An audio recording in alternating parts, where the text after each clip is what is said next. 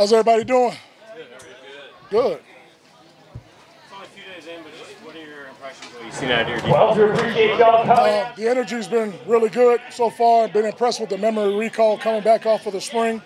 Uh, and the things that we've had, you know, coming on back in has been an aggressive install uh, going forward. So the guys have really grasped that well. Uh, continuing on the communication and things like that. That's the things I'm looking forward to see. We need you now. 12 Jamal not being here, um, up on uh, first I know he's a game when pro and get, you uh, could probably integrate him, but what we effect does that have on we get through that opener. nature? We really Well, we obviously we know we're better when we have them, and I look at it in a sense of we can get better. Like we continue to develop guys. Same thought process in the spring when guys are out, you continue to develop the talent around them, and you build the strength of the unit. And obviously, then when you get them, you feel you're going to be that much better. That's the mentality that I keep. I never look at it as like, woe is me if we get a guy that's a great player that's down. The other guys are here for a reason too, and uh, we continue to develop them. You know, match them in the scheme, their techniques, and we keep pushing forward. Competition going to cornerback. Uh, thanks for coming out. Seeing there both from the I got veterans Jeffrey going home. right now and also 11 12. Let's go. Thank you. Right now, uh, Artie, Artie and uh, Sid have done some good things. Artie had a couple good PBUs a day, as did Coby. You know, so just continue to see that progression in the competition come on with those four guys. Nothing is solidified, so just see them continue to compete every day. But we're excited about the two young kids too. showing you as a rookie We're so coming in excited and to everything see he's y'all done. on the Uh, just really sharpen his attention to detail. You know, really good feel on the scheme. Uh, good football sense and awareness for a young football player. We're excited to see y'all out there. One more time on three. Go Hawks. offseason, One, two, had it. three. What do you see from He's taking some huge jumps. You know, really, you look at last season. To me, in my mind, last season was his rookie year um, coming into it. So now having a really a full off season, again, like you said, he didn't have that coming in after we had drafted him out of Tennessee.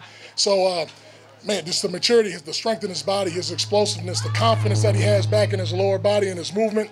Uh, he's always been a really bright kid and understanding the scheme. But the thing that he brings to us is his energy, his competitiveness. He has an edge to him. You know, you come and take the field, you want to have a little piss and vinegar to you. You know, it, it doesn't always have to be nice like it's damn ice cream and strawberries. You know, it's got to have something to us, and he brings that to our defense. He has an attitude. With Coby, with Coby Bryant, uh, is there anything Clint you have seen out here in a week you didn't see on film or scouting him?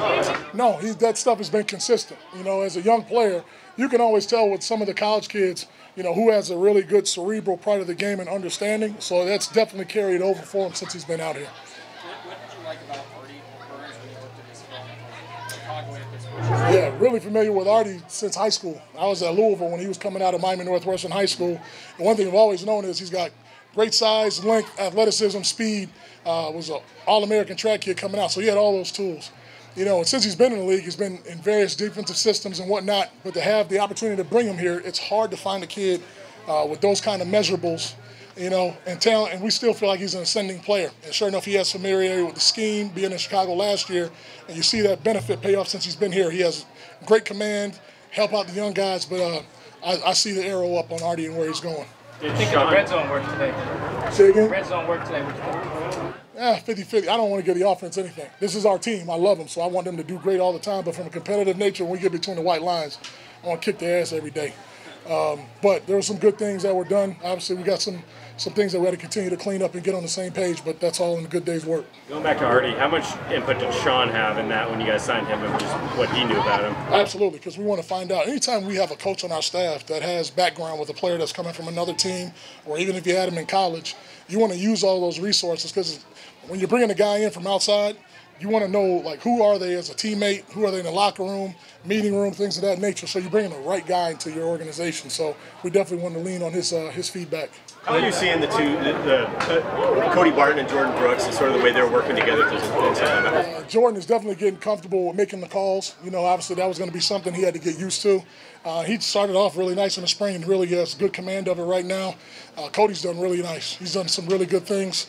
Uh, he gets mad every time I call Dime and put Dime in the game because he wants to be out there. But uh, he's done really well. Both those guys complement each other. They communicate really well. They got a good relationship. So um, going well. How much of the confidence you call diamonds you got to have a guy like Josh Jones on the field? Yeah, guys like Josh Jones, guys, you know, got multiple players that you want to have out there, and a lot of it is based on matchups. You know, and, and the thing is, when we do the coverage stuff, we don't lose anything with Cody either. Uh, safety background in college, he's a very aware guy uh, in the pass game. So uh, we don't lose anything when he does that. He's a really, he's actually a good blitzer too when we need to do that. Think of the play Josh made today. Outstanding, love it. We need to see more of those.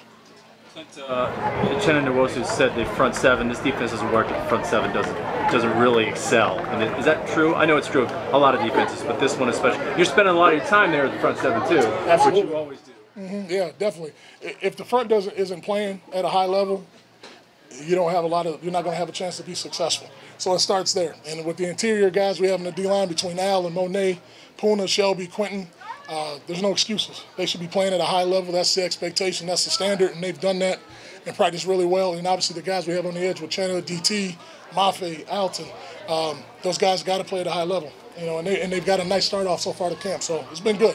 What have you seen out of Marquise Blair so far? first and foremost, it's great to have him back out here. You know, for a kid that's gone through all the stuff he's had to deal with, um, with getting back healthy and whatnot, I think there's something to commend with the mental toughness. You know, to continue to keep battling back and not turn it in. You know, and to give him credit for that. But he's healthy. He's been explosive and twitchy. He's been looking good. And, and again, if he's healthy, he gives us another dimension. He adds another uh, playmaker that we can have to our defense. This is your first season getting with Adams. Where has he grown the most, and how does he fit into this defense with more three things? you know, with Myles, you got to play to your style. You know, first thing people think of when you're dealing with some three-four concepts is big guys, long, big, burly. Um, but sometimes you get guys who are really good football players that might not meet the uh, measurable standpoint that you're looking for, and he kind of fits that. Poona fits that, you know. But they're very smart, cerebral guys. They understand blocking schemes, uh, so they can play a down ahead. So maybe now when they're playing against bigger people, you can be ahead of the snap, and now you don't have to deal with all the combinations and things like that other people do. So he's done really good. Um, it'd be good to see him this uh, preseason because he had a great spring and a nice start again so far. What do you see that at LJ Collier? Still doing good. You know, still still still doing really good. Pass rush wise, run game. He's bigger and stronger than he's ever been. You know, obviously, and people wonder, well, why why does it take so long for those things to happen? You know, and obviously, remember, guys are still physically developing as they get here and whatnot. So he's continued to do well and just battling and, and pushing forward. So I like where he's at. A lot of times you ask me questions about uh, the big guys and where they're at. Ask me next week after the pads get on because that's when the facts uh, come out. His role in this defense, how is Uh, I would say last year was a big uh, learning adjustment for him, uh, schematically and where he fit and how things had to be played. Now that he's second year and he's a lot more comfortable, is what I would say. You know, so he just like anything else, sometimes it takes time. In terms of just the position and what you're asking. How does it compare? I mean, there is more single blocks now for him. He just has to understand where they're coming from, you know, whatnot. And he doesn't have to play as many double teams as what some people may think, uh, depending on front structure and whatnot. So now when he's in it, he can play more vertical. He can be more disruptive. He doesn't have to sit down and try to play blocks like Mone and like Al does, you know, from that standpoint. That, that's the difference.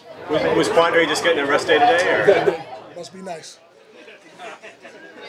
Gone communication-wise, you've kind of got one guy that's running with Quandre and with Jordan and Daryl.